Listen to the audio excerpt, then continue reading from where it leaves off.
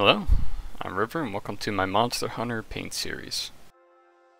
Today, I'll be doing the Great Jagras armor set. I start off each model by first trimming the mold lines and priming them. In this case it's matte black. I couldn't quite reach all the spots because of the detail, so I come back and I fill in any gaps with a matching color.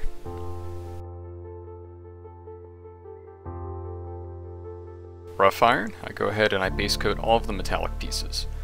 This includes the different seals from the guild, the bandolier, the lantern, metal plates on the knees and arms. The entirety of the greatsword, and the top of the metal hat. As you can see, I ran into some technical issues this time through, and I couldn't really find much footage that was clear, so...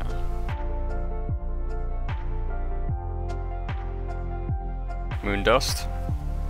I paint all of the Jagras' scales on the body. This includes the scarf, the hairs,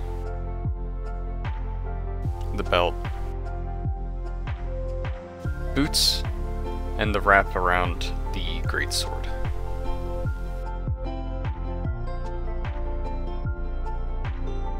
I also did the trim of the cape.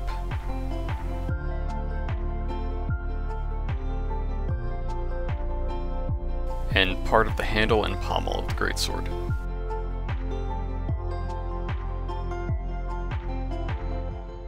Flumph Pink, just gonna very carefully paint the face and fingers of the hunter. I leave the space around the eye sockets black to add a bit of shadow. Wizard Orb. Go ahead and do all of the under bits, including the shirt, some tassels hanging off the side, and the surface of the cape.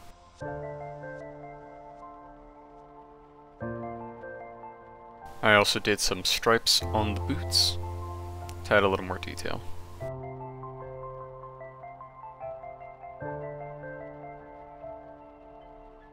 I also go ahead and I give a little bit of detail to the scarf, putting some stripes on it.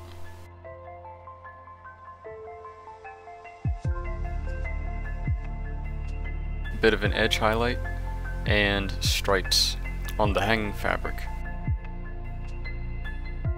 I also use this color on the strands on the sword cover.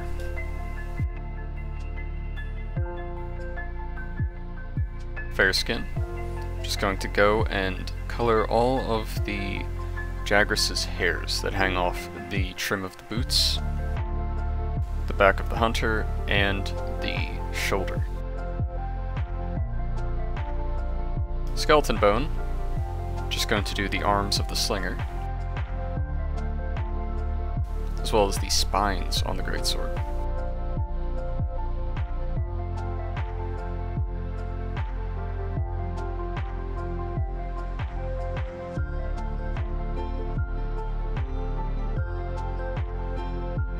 Flesh wash, I go ahead and I cover the entire model with this. From the metallics, to the scales, and the hair. Even the skin.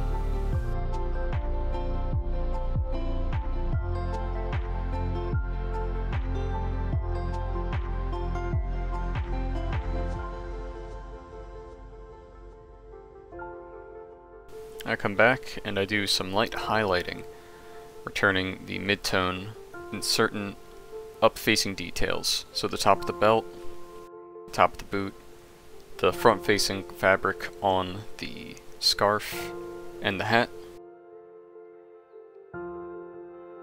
Very lightly do a edge highlight on the cape trim.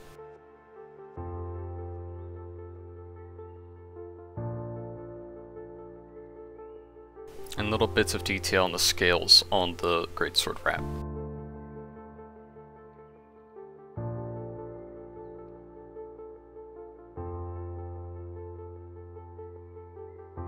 Grung Green, I real quick paint the lantern that holds the scout flies. You You can mix a bit of white or yellow with this and kind of give it a glow effect in the center. Mithril Silver. We're just going to highlight the metallic pieces. The containers on the bandolier, the trim of the shoulder piece, the shields and guild sigils on the armor, knee pads, metal bands on the arm and the slinger, slightly edge highlight the greatsword's handles as well as the blade itself. Fairly generous with the uh, fairly generous with the edge of the blade. It takes a few coats to cover the brownish metallic we used. Ends up looking pretty good. Some dry rust. Just gonna water that down a plenty and just sort of do the bottom bits of the Jagras hair.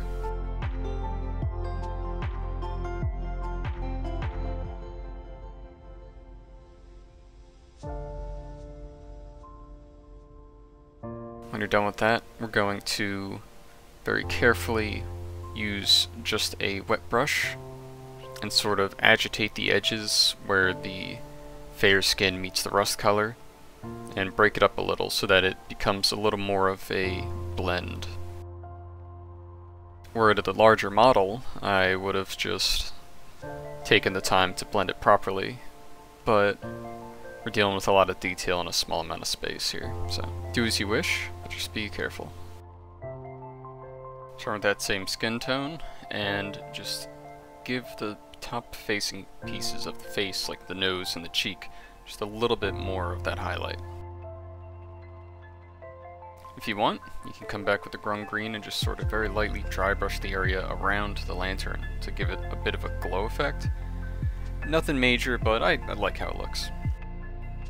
Wizard Orb, I just come back with that teal color and just sort of highlight the raised bits of the cape. As well as the other details, such as the stripes and the torso. Turn with matte black and just sort of clean up your base. Want to try to mostly use the same direction with your strokes and just sort of come back with multiple layers. You want it to be nice and smooth and evenly colored.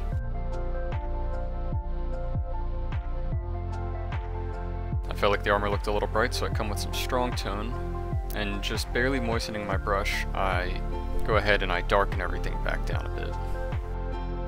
I don't let anything pull anywhere too much, but I cover all of these scales and cloth.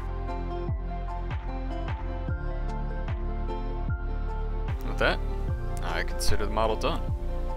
I ran into some technical difficulties with getting my footage to come out clear. Um, I'm gonna try to fix that for next time, but I hope you liked it, and I'll see you in the next one. Next up will be the Anjanath armor, with the dual blades.